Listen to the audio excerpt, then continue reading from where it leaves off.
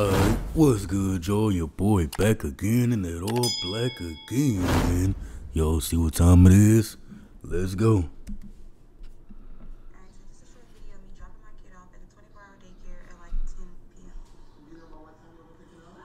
Uh, And it's a man working there? probably like in an hour or Or is he just a security guard or something? Because a man working at the daycare, that's already a red flag. She won't be here that long. Now, they advertise Ain't no grown ass man being around my daughter.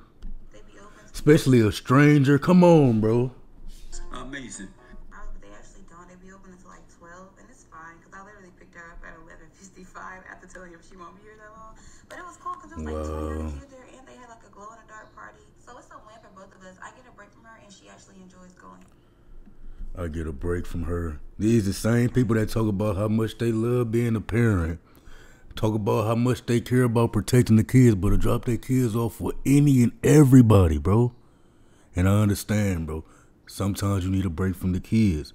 But at the end of the day, you gotta drop your kid off at a 24 hour daycare and you know she wasn't gonna do anything productive. She dropped this kid off probably just so she can go to Pound Town or something.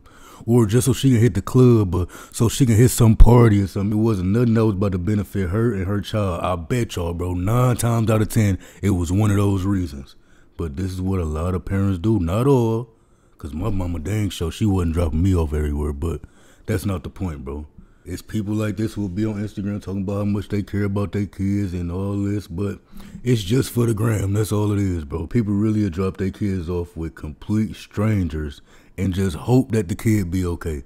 Instead of knowing that the kid is okay because you actually right there with the kid or the kid is with the biological father. And that's another thing, bro. A lot of times these mothers will drop the kid off with everybody except for the real father.